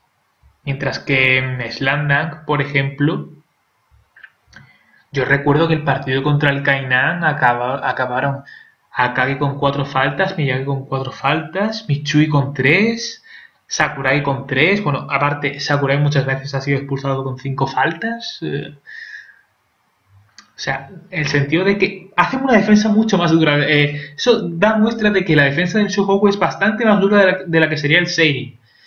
De que, del que el único defensor competente que veo ahí es Kagami y luego menor medida que Yoshi. El resto no los veo muy buenos defensores. Bueno, Izuki con la Eagle Spear, pero tampoco tampoco los veo yo en plan defensores, mientras que el, que son todos bastante buenos, bastante buenos, son muy buenos defendiendo, a excepción de Sakuragi en la defensa individual, porque luego en zona Sakuragi, o sea, no, o sea, no en defensa en zona, sino en la zona ya para rebotear, para tapar. Sakuragi sí es un peligro. Y luego, y, o sea, porque Sakuragi defiende como un principiante, puede hacer presión ahí un poco, pero mm, eh, como sepa driblar un poquito, ya, ya lo pasa. Entonces, entonces la defensa me parece superior a la del Shohoku. Ahora, en cuanto a la altura de los equipos, mm, mm, ya he dicho los datos. O sea, en altura gana el Shohoku. Eh, o sea que por tanto ahí tendría la ventaja de que podría hacer más pases por alto de lo que podría hacer el, el Seirin. Aunque el Seirin, claro, está que Kagami con la capacidad de salto que tiene podría cortar balones también que fueran por alto, pero... Y ahora aquí ya me, he apuntado aquí las cinco estadísticas que cuentan de del baloncesto, o sea, robos, robos tapones, asistencia, rebotes, puntos. Y más o menos digo yo que, cuál en los apartados quién, quiénes creo que van a ganar. Aunque, a ver. En robos. Mm, eh, robos la verdad es que lo veo algo, algo complicado, pero yo diría el Shohoku, ¿vale? Básicamente porque, aunque está muy igualado, ¿eh? Es un... Es, gana el Shohoku, pero no por mucho. A lo mejor consigue uno o dos robos más que el Seirin, ¿eh? Que tampoco hay mucha diferencia ahí.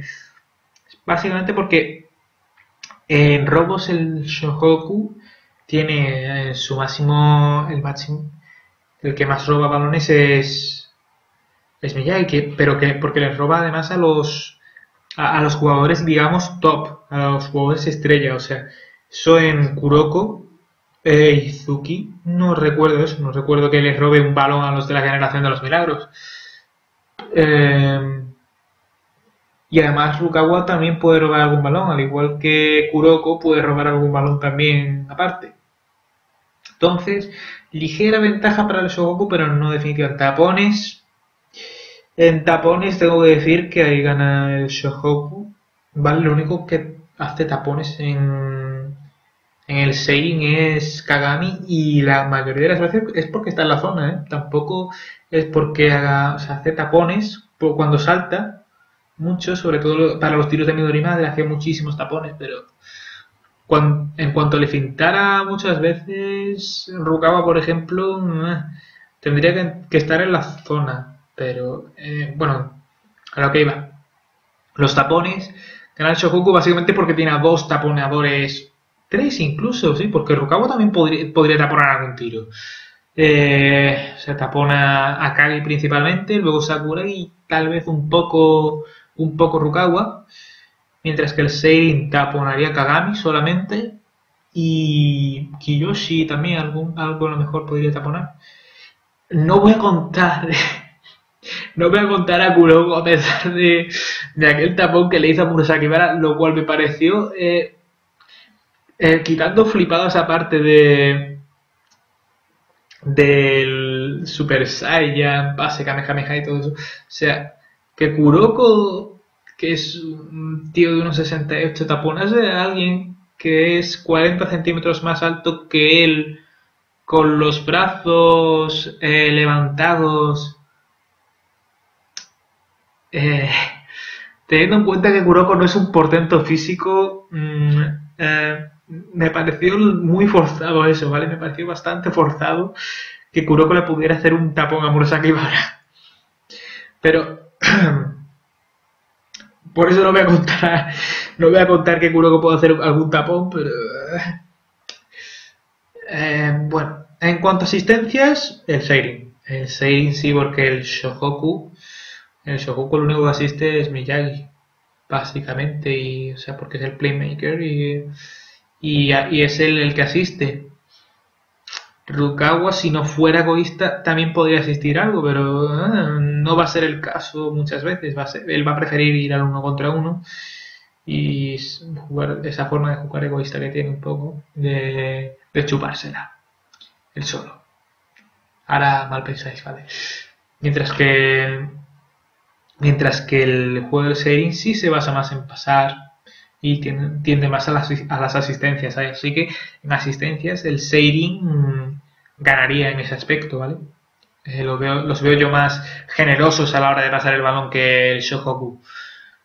En rebotes, en rebotes gana gana el, el Shohoku para mí también porque eso porque tiene a, esas dos bestias reboteadoras que son Akagi y, y Sakuragi en la zona eh, y mientras que, solamente ahí podría hacer algo del. Mientras que del. Que del Sering el único que puede hacer que, que es reboteador es. Bueno, Mitobe del banquillo también era reboteador, pero el único que puede hacer algo así en cuanto a rebotes es Kiyoshi. Y como le defienda uno ya, el otro está libre. O sea, Kagami, vale, Kagami también puede coger algún rebote, pero mm, Kagami no es tan reboteador. O sea, Kagami es más anotador que reboteador. No, no va a estar tan pendiente de coger rebotes porque eso le va a suponer un desgaste extra, un, desgaste adicional.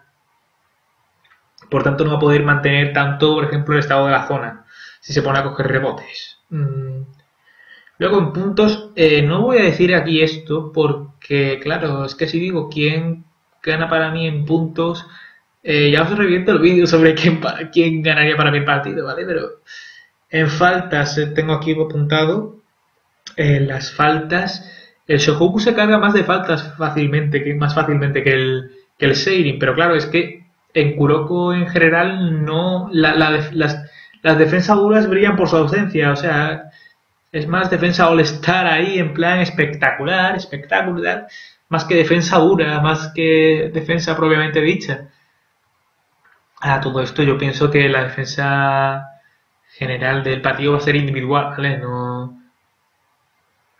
Eh, por tanto, o sea, el Shohoku tendría un problema con las faltas si se le acumulan. De hecho, si se le acumularan las, faltas, eh, ya no tendría el partido muy...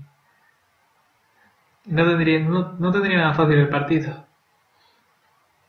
Pero aquí me llevo al siguiente punto, que es que me parece que el Shokoku juega con más inteligencia muchas veces que el Seirin, ¿vale? O sea, el Shokoku yo lo veo más en plan de que puede parar el ritmo, puede...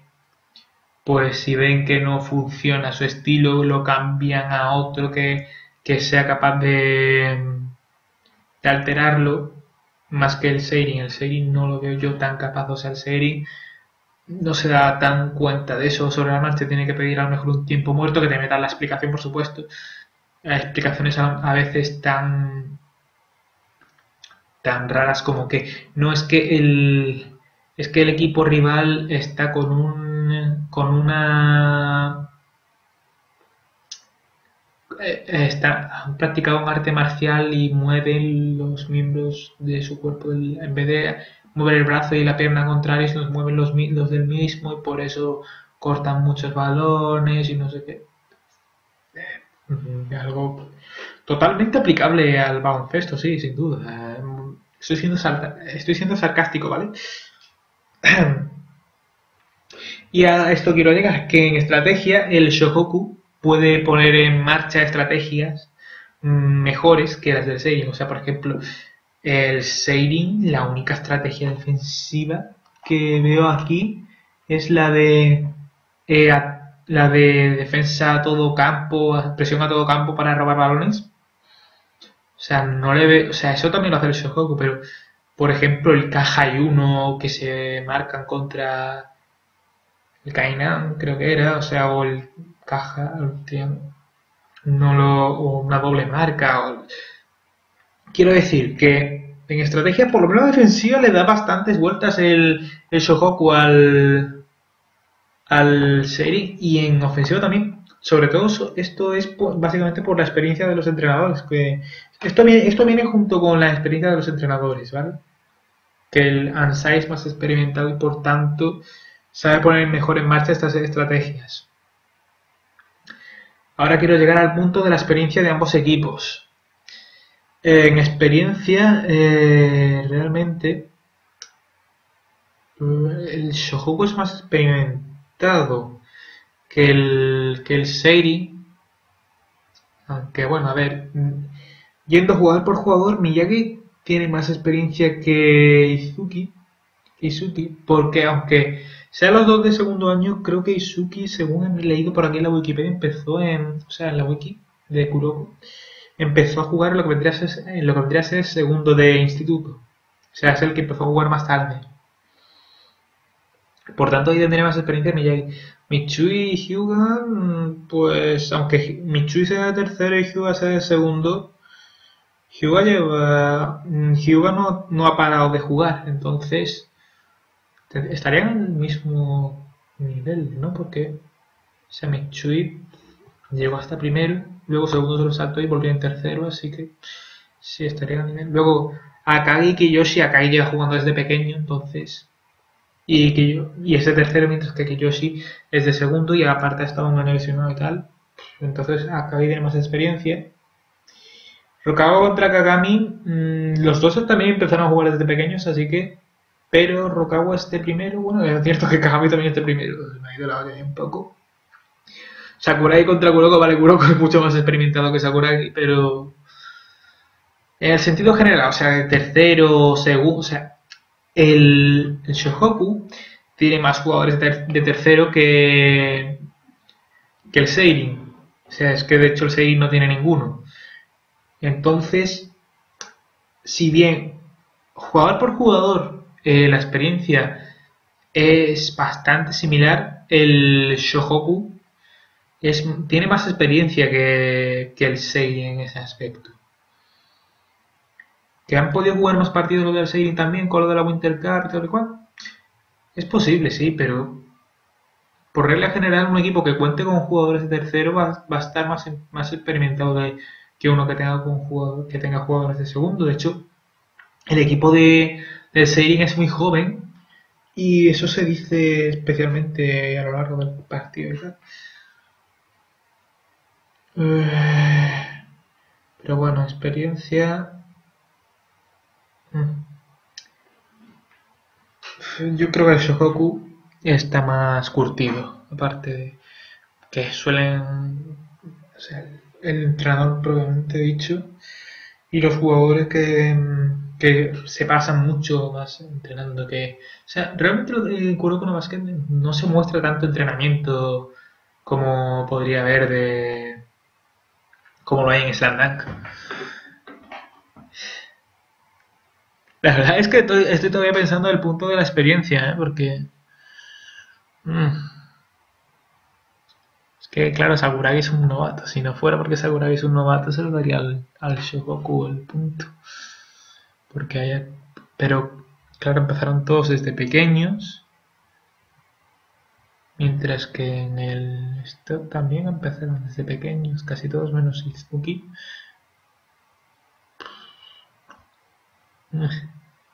Están a un nivel similar en cuanto a experiencia. Pero aún así los veo, los veo más inteligentes al Shohoku. Le voy a dar lo de la experiencia al Shohoku, ¿vale? De una vez. Se lo voy a dar al Shohoku. Por eso, porque tiene jugadores más viejos, por así decirlo. Y ahora me dirán de todo, ah, si tú mismo te has contradecido, el, el Seirin ha jugado más partidos y es más experimentado. Pues es la verdad, pero mm, si no, si no he dicho que esto sea la verdad absoluta, uno puede pensar lo que quiera aquí. En cuanto a mentalidad, mmm, a ver, es que mentalidad, lo he apuntado aquí en lo de mentalidad, pero Realmente, o sea, el Shohoku, por ejemplo, suele tener siempre la mentalidad de ganar, al igual que el Seirin, entonces en mentalidad estaría, estarían empatados en realidad porque ambos tienen más moral que el alcoyano, ¿vale? Frente a las adversidades, pues tiran hacia adelante, tiran hacia adelante, tiran hacia adelante. Kuroko es bastante optimista, pero claro, también está claro que pierden partidos, ambos equipos pierden partidos. De hecho, pierden más partidos el bueno, no pierde los mismos, ahora lo pienso. Solo que los que pierde el, el Shohoku son más. Mm, son de más relevancia que los de Kuroko, aunque los de Kuroko fue en la fase final de la de las preliminares para para el campeonato nacional de verano realmente perdieron el partido contra la Academia To y ya como se lesionó Kagami pues Ah, es cierto, cierto, cierto. Esa es otra, esa es otra que quería decirlo. Casi se me olvida precisamente. Que si bien ambos equipos tienden a, decir que juegan en equipo, no sé, y tal y cual, que no es todo el juego en equipo, el, el, en el juego sí se cumple esto, ¿vale? Porque si un jugador está mal, puede ir a otro del equipo de hecho, se ha visto en todos los partidos que si uno había uno que, tiraba el equipo cuando otro estaba mal, no sé cuánto. En el Seirin, no, el Seirin como Kagami o Kuroko estén mal, el Seirin sufre mucho porque los otros jugadores del equipo no son capaces de tirar de, él tan, tan fácilmente. Entonces, o sea, están mucho más centrados en, en la pareja de rookies que lo que podría estar el el Shohoku, ¿vale? El Shohoku sí son los cinco. Son los cinco los. Los.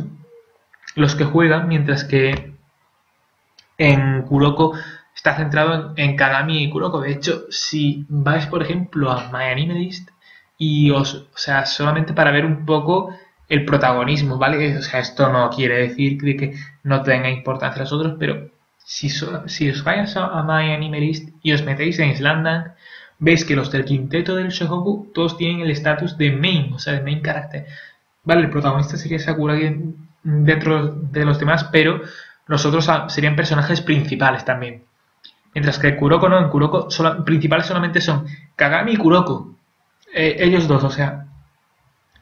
Sin ellos dos, el equipo del Seirin, mm, o sea, si alguna de esas dos piezas falla, se derrumba vamos a ver. Ya sé que esto no tiene nada que ver con la mentalidad, pero mm, me he acordado ahora, ¿vale? De, este punto que quería comentar.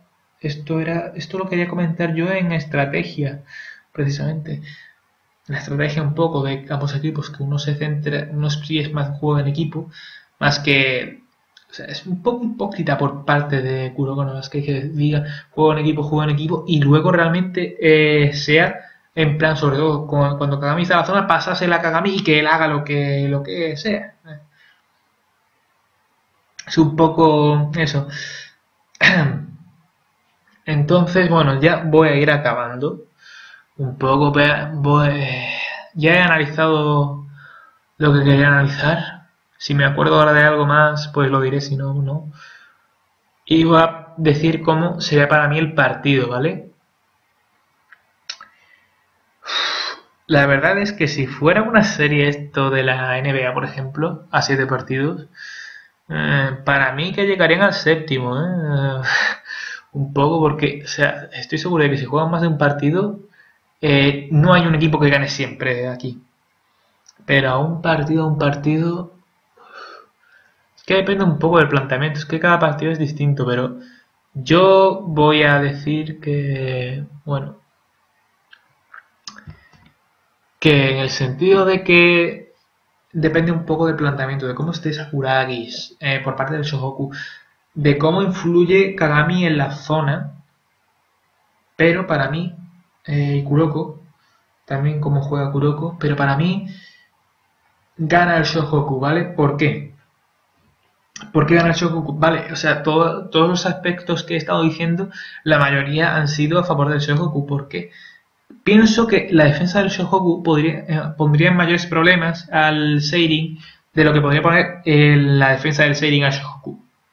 Eso es una premisa básica del baloncesto, que si tienes un mejor ataque que, que la defensa del otro, vas a meter más puntos. Y si tienes una defensa mejor que el ataque del otro, o sea, no digo, o sea, el ataque del Seirin es superior a la defensa del Shogoku y al igual que el ataque del Shogoku superior a la defensa del Seirin, ¿vale? Son dos equipos ofensivos.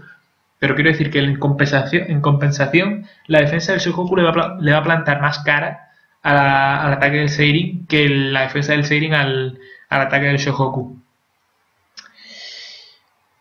Eh, aparte, la zona, la zona la tiene ganada ahí el Shohoku, a no ser, claro, que Kagami se ponga en la zona, pero cuando Kagami se pone en la zona, más que a la pivot, juega más de alero, diría yo. Tiende a subir más el balón incluso, se tira triples.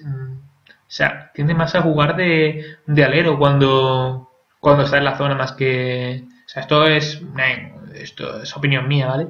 Más que de a la pivot, no, no está tanto en la zona.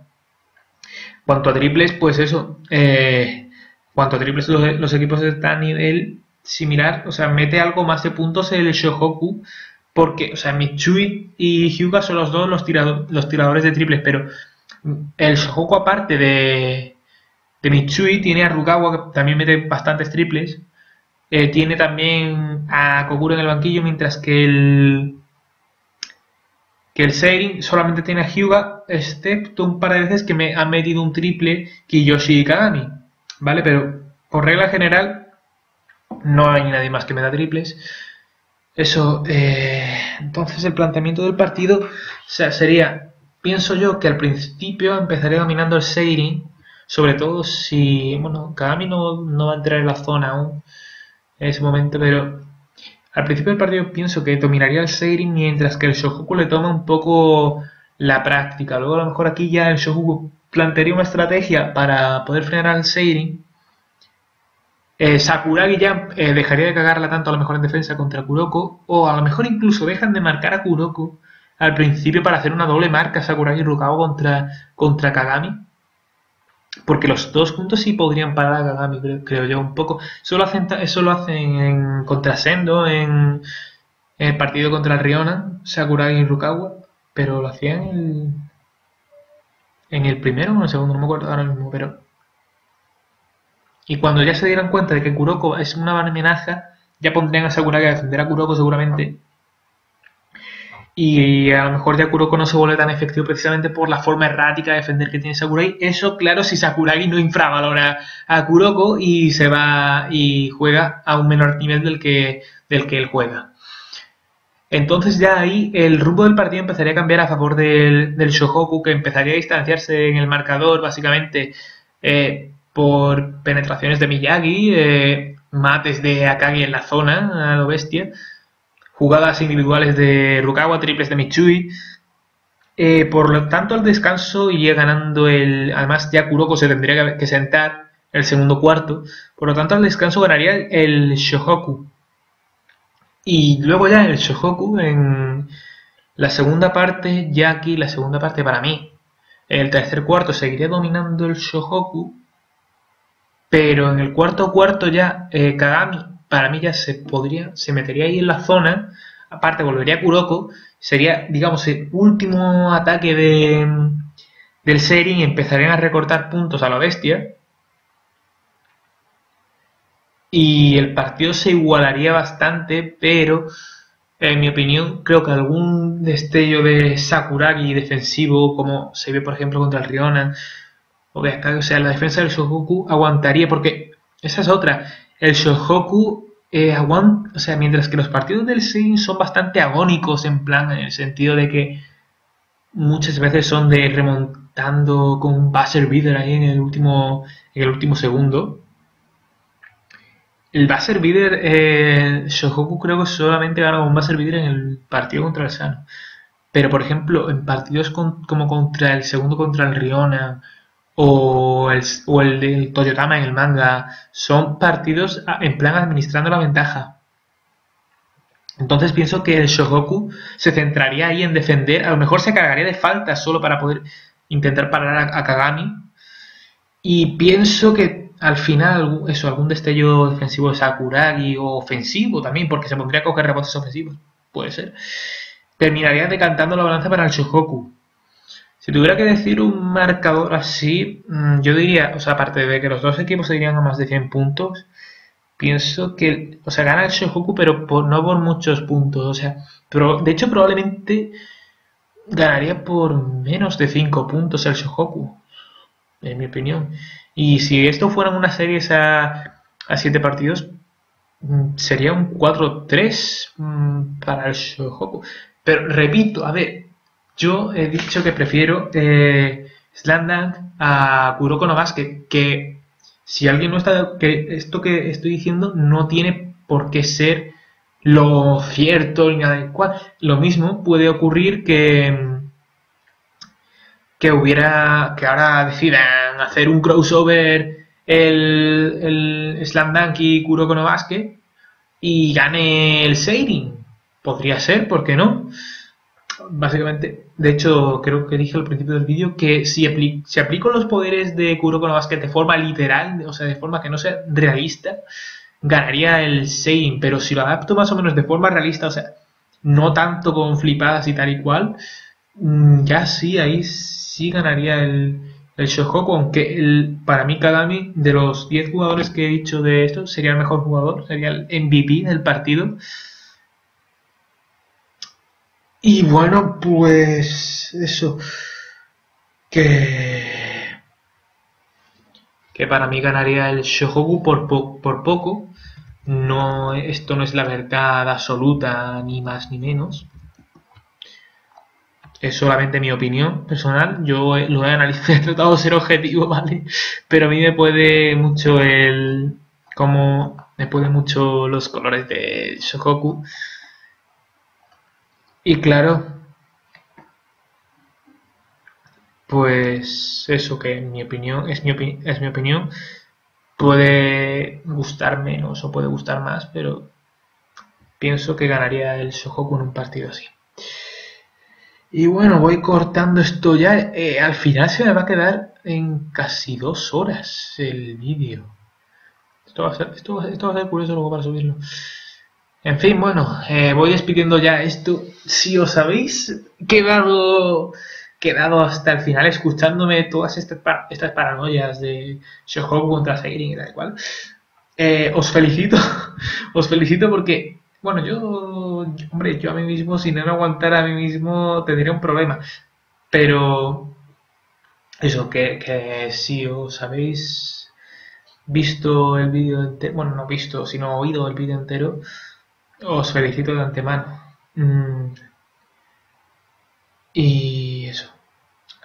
Probablemente se me haya olvidado algo de lo que quería decir a lo largo de, del vídeo.